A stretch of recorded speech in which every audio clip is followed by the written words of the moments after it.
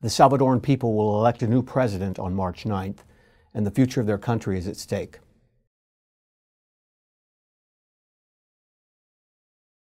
The Salvadoran people have a choice between a candidate from the ruling political party who wants to continue down the path of a Venezuela style revolution or a more conservative alternative that is promising more free markets and political freedom.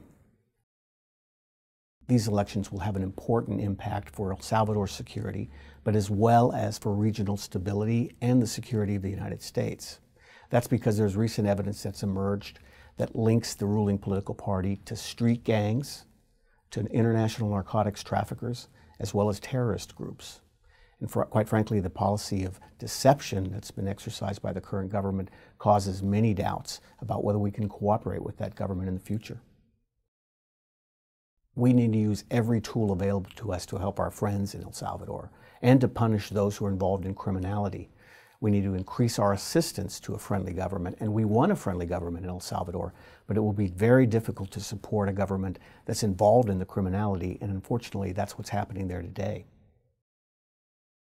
The candidate of the ruling FMLN party is a fan of Hugo Chavez. He's praised the Chavez revolution. But the Salvadoran people see on their television screens every night the violence against peaceful demonstrators in that country being carried out by the government of Venezuela. They have to ask themselves, is that the kind of government that we want in our country? Do we want to have broken institutions? Do we want to have criminality? Do we want to have corruption? Or are we going to choose someone else on March 9th?